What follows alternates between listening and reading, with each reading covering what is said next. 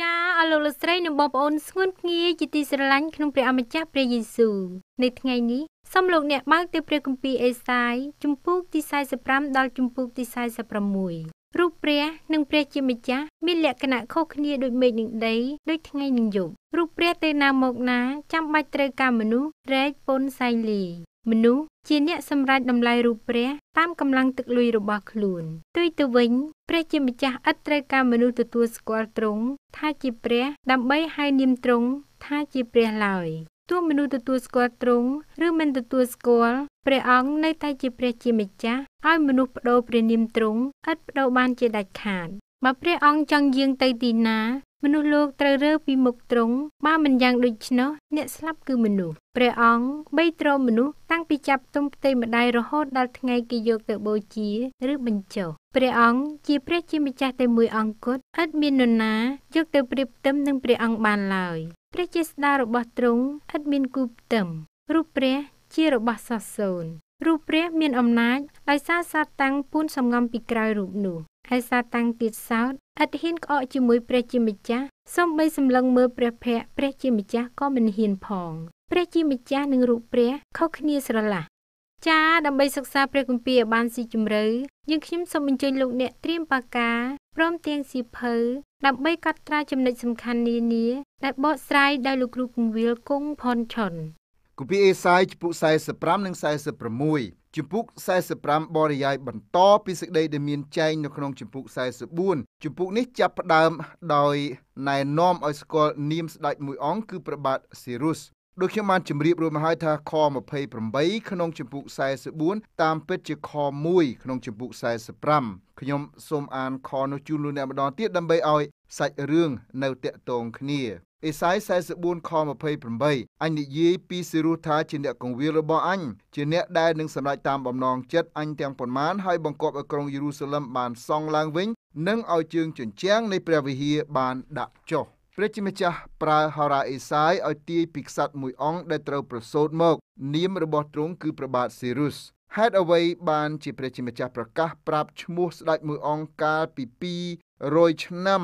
មុនស្ដេចអង្គនេះប្រសូតបើតាមការសិក្សាព្រះបន្ទូលឲ្យមកចត់ព្រះអង្គមានមូលហេតុ3យ៉ាង បានជាព្រះអង្គបង្គាប់ហោរារបស់ទ្រង់ឲ្យធ្វើការនោះទី1ព្រះអង្គចង់ឲ្យមនុស្សលោកស្គាល់ច្បាស់ថាមានស្ដេចមួយអង្គនឹងត្រូវប្រសូតមក នៅពេលស្ដេចសេរុសប្រសូតមកកុំឲ្យមានមនុស្សណាយល់ច្រឡំដល់បទទំនាយដែលហោរាអេសាយបានទាយ ទី2ព្រះបាទសេរុសជាស្ដេចមួយអង្គទទួលខុសត្រូវសម្រាប់ឲ្យសាសអ៊ីស្រាអែលវិលត្រឡប់មកទឹកដី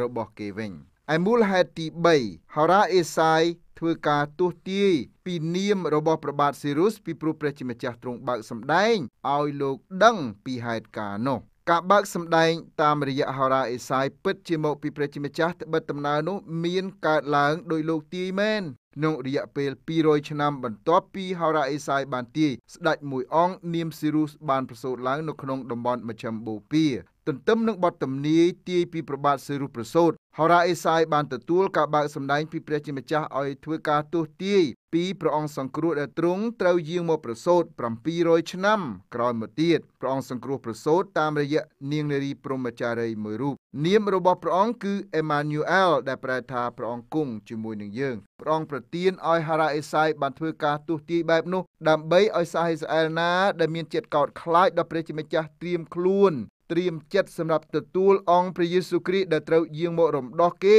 ឲ្យរួចពីអំពើបាបម្យ៉ាងវិញទៀតសូមយើងកត់ចំណាំឲ្យបានច្បាស់ថាព្រះជាម្ចាស់ត្រាស់ហៅព្រះចៅសេរុសថាជាអ្នកកងវិលរបស់អញនិងជាអ្នកដែលនឹងសម្រេចតាមបំណងចិត្តអញទាំងប៉ុន្មានព្រះជាម្ចាស់សពតិស្ថាបនាទីក្រុងយេរូសាឡឹមឡើងវិញឯស្ដេចដែលត្រូវទទួលទូនាទីជាអ្នកសាងសង់ទីក្រុងយេរូសាឡឹមឡើងវិញគឺព្រះបាទសេរុសដើម្បីឲ្យយល់ច្បាស់ពីហេតុការណ៍ខាងលើ ខ្ញុំសូមរំលឹកដល់លោកអ្នកពីប្រវត្តិសាស្ត្របន្តិចទាក់ទងនឹងសាសអ៊ីស្រាអែលព្រះជាម្ចាស់ប្រើកងទ័ពអាសឺដើម្បីចាប់សាសអ៊ីស្រាអែលដែលរស់នៅភូមិភាគខាងជើងនៃនគរយកទៅធ្វើជាឆ្លើយសង្គ្រាមក្រោយមកទៀត ព្រះជាម្ចាស់ប្រើទីក្រុងបាប៊ីឡូនដើម្បីរំលាយទីក្រុងយេរូសាឡឹមព្រមទាំងចាប់ពលរដ្ឋអ៊ីស្រាអែលដែលរស់នៅភូមិភាគខាងត្បូងធ្វើជាឆ្លើយសង្គ្រាមដែរមនុស្សដែលព្រះជាម្ចាស់ទ្រង់ប្រើឲ្យកែតម្រង់ដល់រាជព្រះអង្គសុទ្ធតែជាមនុស្សកំរោល4ជ្រុងប៉ុន្តែបន្ទាប់ពីព្រះអង្គសម្រេចទិសដៅរបស់ព្រះអង្គរួចហើយព្រះអង្គជំនុំជម្រះដល់បុគ្គលទាំងនោះដោយឡែកព្រះបាទសេរុស មានលក្ខណៈខុសស្រឡះពីស្ដេចពីរអង្គនៃប្រទេសអាសឺនិងប្រទេសបាបេឡូន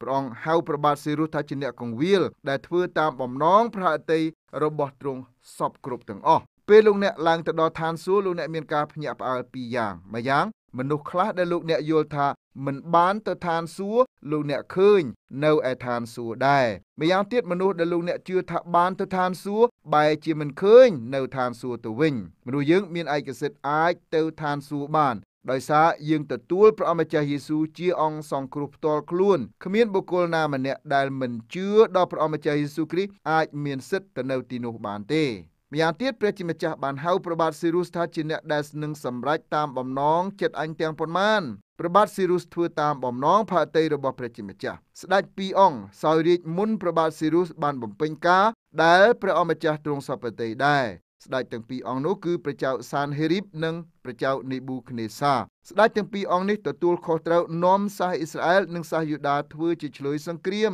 ចំណែកព្រះបាទស៊ីរុសទ្រង់ជាអ្នកសម្រេចតាមបំណងចិត្តរបស់ព្រះជាម្ចាស់ដែលទ្រង់ឲ្យលោកធ្វើព្រះបាទស៊ីរុសមានលក្ខណៈខុសប្លែកពីស្ដេចពីរអង្គដែលព្រះជាម្ចាស់ប្រើពីពេលមុនព្រះបាទស៊ីរុសបំរើព្រះជាម្ចាស់ដោយមានប្រតិកោតខ្លាចដល់នាមទ្រង់ អេសាយ45ខ1ព្រះយេហូវ៉ាទ្រង់មានបន្ទូលដល់ស៊ីរុសដែលទ្រង់បានចាក់ប្រេងតាំងឡើងហើយជាអ្នកដែលទ្រង់កាន់ដៃស្ដាំដើម្បីឲ្យបានបង្ក្រាបអស់ទាំងសះនៅមុខខ្លួនហើយនឹងបន្ធូរចង្កេះពួកស្ដេចព្រមទាំងបើកទ្វារនៅមុខខ្លួនរួចទ្វារទាំងនោះនឹងមិនត្រូវបិទវិញឡើយបទទំនាយខាងលើគួរឲ្យយើងកត់សម្គាល់យ៉ាងខ្លាំង បទទំនាយនេះសម្រាប់ចេញជារូបរាង200ឆ្នាំក្រោយមកទៀតពេលព្រះចៅស៊ីរុសប្រសូតមកក្នុងលោកយើងព្រះបាទស៊ីរុសជាស្ដេចគ្រងរាជប្រទេសពើស៊ីសពថ្ងៃគេរកឃើញភ្នោរបស់ស្ដេចអង្គនេះនៅប្រទេសអ៊ីរ៉ង់យើងអាចស្គាល់ពីចរិតរឹកពីរបស់ទ្រង់ដោយសារសេចក្តីដែលគេចារទុកនៅលើភ្នោរបស់ទ្រង់នៅក្នុងចំណោមស្ដេចគ្រប់គ្រងមហានគរព្រះបាទស៊ីរុសជាក្សត្រមួយអង្គដែលគ្រងរាជប្រកបដោយទឹកចិត្តបន្ទាបខ្លួន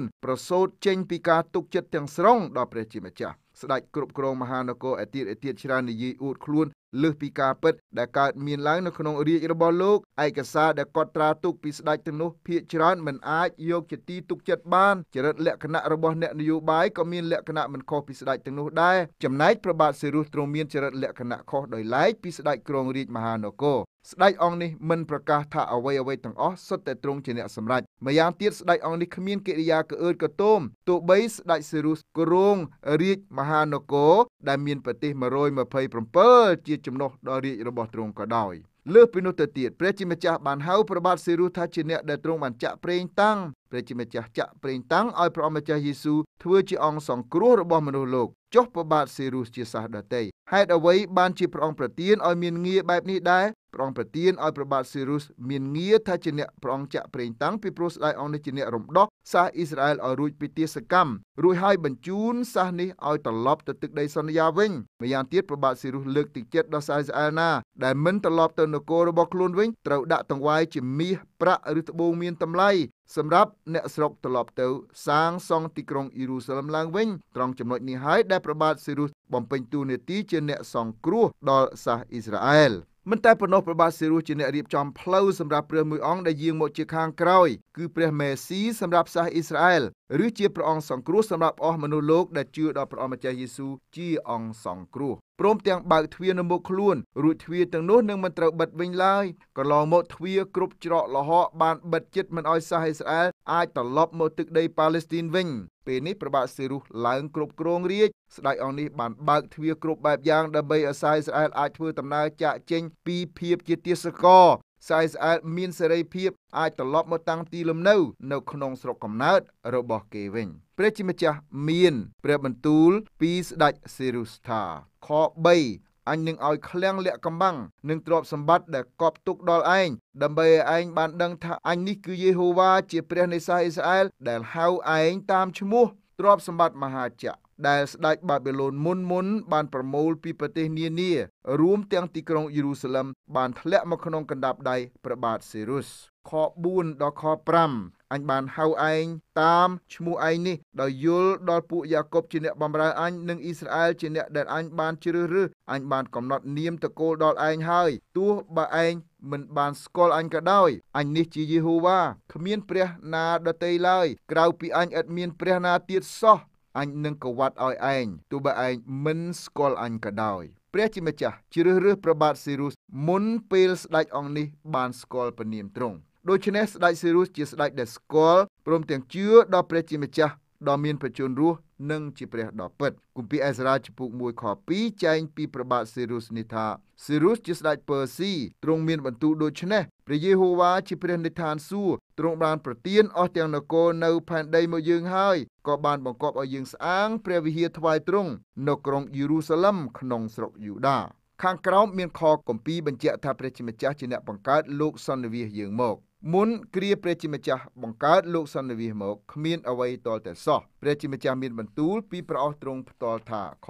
7គឺអញដែលបង្កើតពន្លឺហើយក៏ធ្វើឲ្យមានងងឹតផងអញធ្វើឲ្យមានសន្តិសុខហើយឲ្យមានសេចក្តីវេទនាដែរ គឺអញនេះហើយជាយេហូវ៉ាដែលធ្វើគ្រប់ការទាំងនេះ នៅក្នុងប្រទេសពឺស៊ីគេលើកពន្លឺថាជាព្រះរបស់គេរូបព្រះពន្លឺ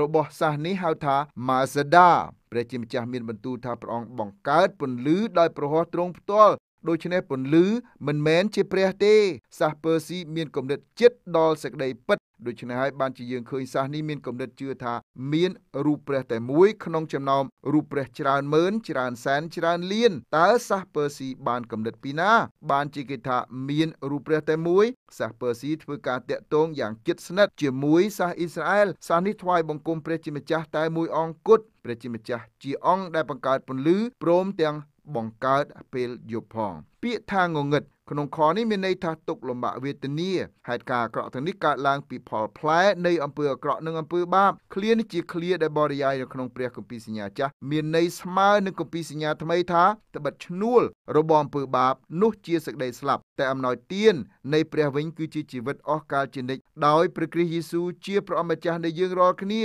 គម្ពីររ៉ូមចំពុក6ខ23បើលោកអ្នកហ៊ានប្រឡែងនឹងអំពើបាបលោកអ្នកច្បាស់ជា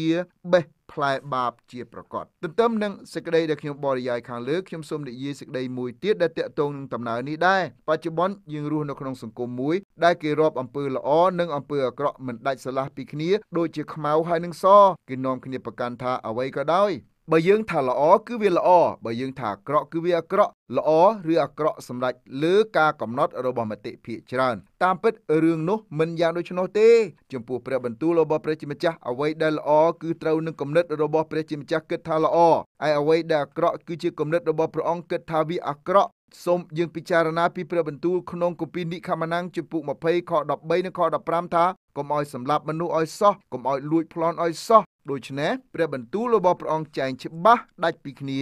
រវាងខ្មៅហើយនិងស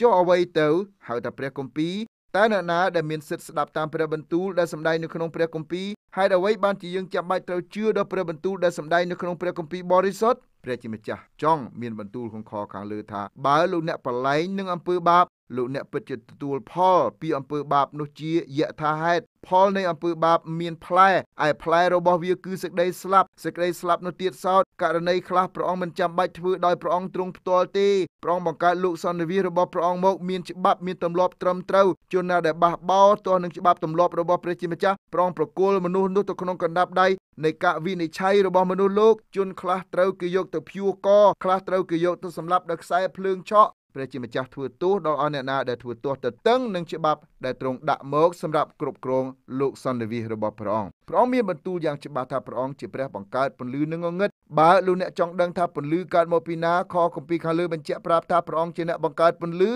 ដោយអង្គទ្រង់ផ្ទាល់ ខ9វេទនាដល់អស់អ្នកណាដែលតតាំងនឹងព្រះដែលបានបង្កើតខ្លួនមកគឺជាអំបែងឆ្នាំងមួយនៅក្នុងអស់ទាំងអំបែងនៅផែនដីតើដីឥដ្ឋនឹងប្រកែកចំពោះជាងស្មូនថាតើធ្វើអ្វីដូច្នេះឬការដែលឯងធ្វើនឹងហ៊ានថាគេគ្មានអ្វីដៃទេឬអី ព្រះជាម្ចាស់ទ្រង់ជាអ្នកបង្កើតលោកសន្និវិសយើងមកដូច្នេះតើយើងអាចប្រឆាំងយកឈ្នះលើព្រះជាម្ចាស់បានដែរឬបើលោកអ្នកហ៊ានតទល់ជាមួយព្រះជាម្ចាស់អ្នកទទួលបរាជ័យគឺលោកអ្នកព្រះអង្គមិនចង់ឲ្យបុគ្គលណាម្នាក់ទាស់ជាមួយព្រះអង្គទេផ្ទុយទៅវិញព្រះអង្គចង់ឲ្យមនុស្សមានបាបដោះស្រាយករណីអំពើបាបរបស់គេជាមួយនឹងព្រះអង្គផ្ទាល់អេសាយជំពូក1ខ18ព្រះអង្គត្រាស់ហៅដល់មនុស្សលោកគ្រប់រូបថាមកចុះ យើងនឹងពិភាក្សាជាមួយគ្នាទោះបើអំពើបាបរបស់ឯងដូចជាពណ៌ក្រហមតែងក៏ដោយគង់តែនឹងបានសដោយហេមៈទោះបើក្រហមឆ្អៅក៏ដោយគង់តែនឹងបានសដូចជារួមជាងវិញសូមលោកអ្នកមេត្តាកុំបថុយប្រឋានលេងល្បែងភ្នាល់ជាមួយព្រះជាម្ចាស់ឲ្យសោះព្រះអង្គស្គាល់ផែនការដែលព្រះអង្គត្រូវធ្វើ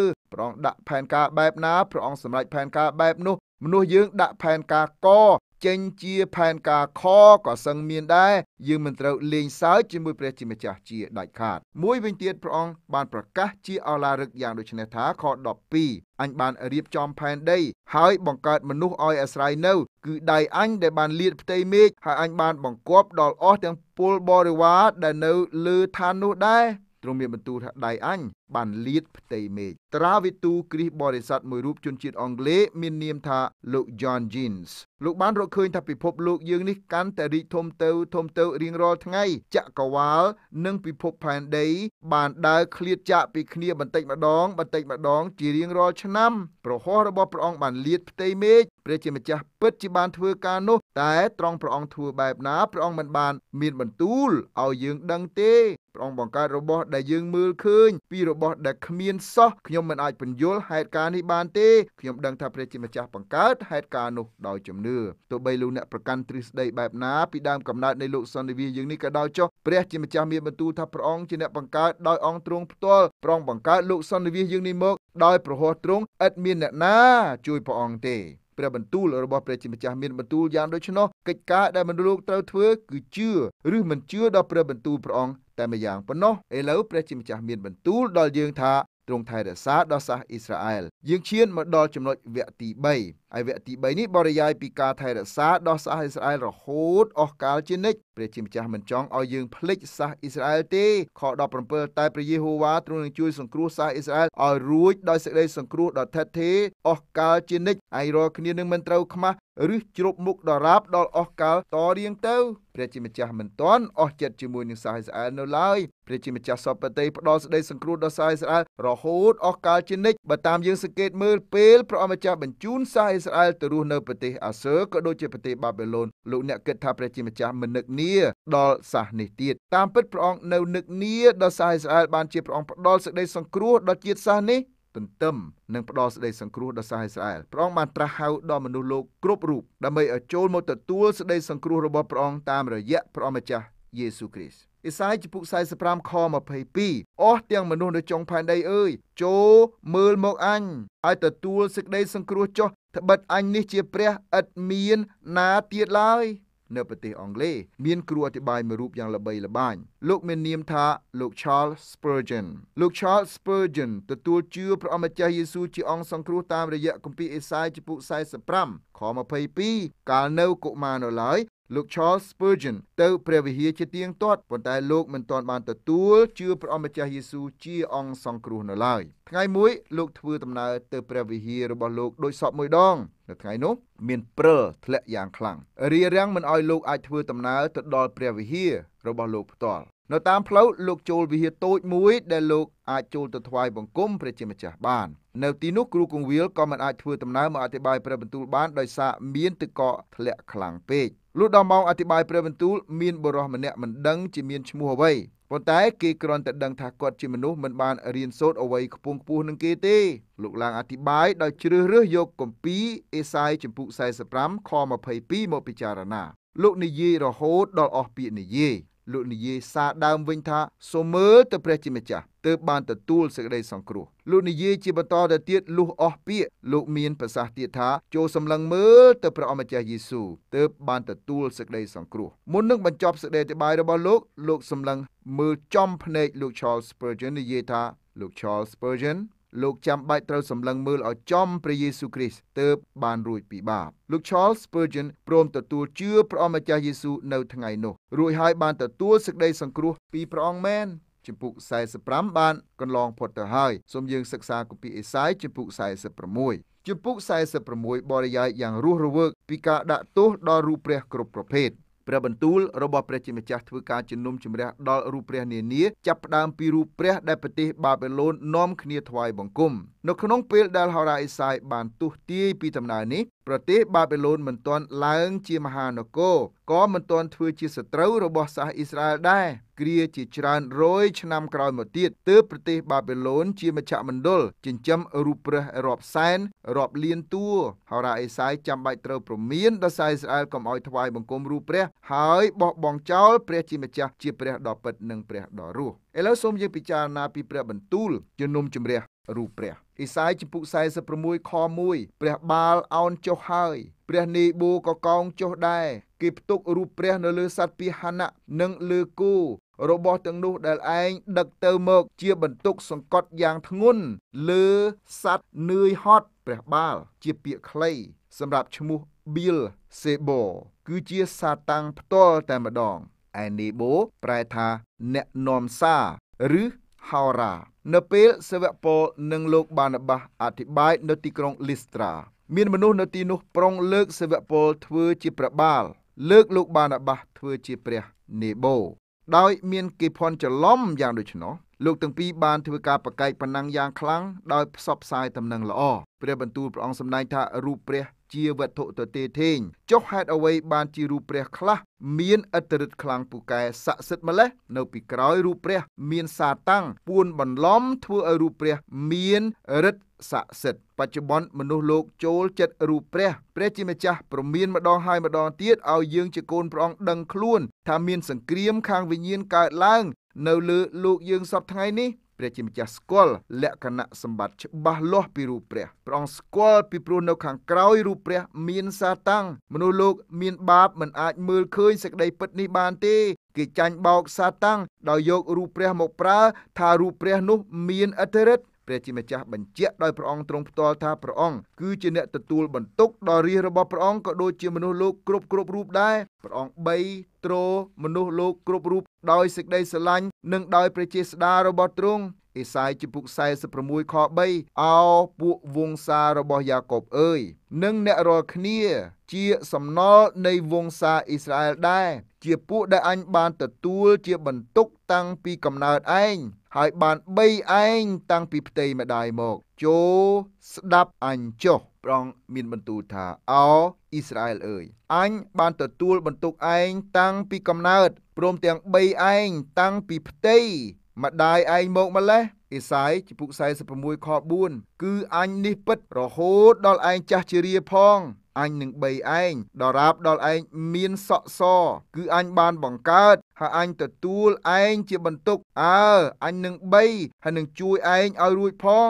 សេចក្តីដែលព្រះអង្គចែងខាងលើបញ្ជាក់ថាក្នុងចំណោមរូបព្រះ ហើយនឹងព្រះជាម្ចាស់តើអង្គណាមួយជាព្រះដ៏ពិតព្រះជាម្ចាស់មិនមែនគ្រាន់តែជាព្រះ ដែលបីទ្រសាសអ៊ីស្រាអែលតែប៉ុណ្ណោះទេព្រះអង្គបីទ្របុគ្គលគ្រប់រូបចាប់តាំងពីថ្ងៃទុំផ្ទៃម្ដាយរហូតដល់គេយកបុគ្គលម្នាក់ទៅបញ្ចុះក្នុងភ្នោឬបូជានៅទីបាឆាចំពោះលោកអ្នកដែលចូលចិត្តកាន់សាសនាសូមលោកអ្នកឆ្លើយនឹងសំណួរនេះថាតើសាសនាកាន់លោកអ្នកឬលោកអ្នកកាន់សាសនា ព្រះជាម្ចាស់កាន់អំពើបាបរបស់លោកអ្នកគម្ពីរអេសាយចំពុក53ខ4ចែងថាទ្រង់បានទ្រាំទ្រ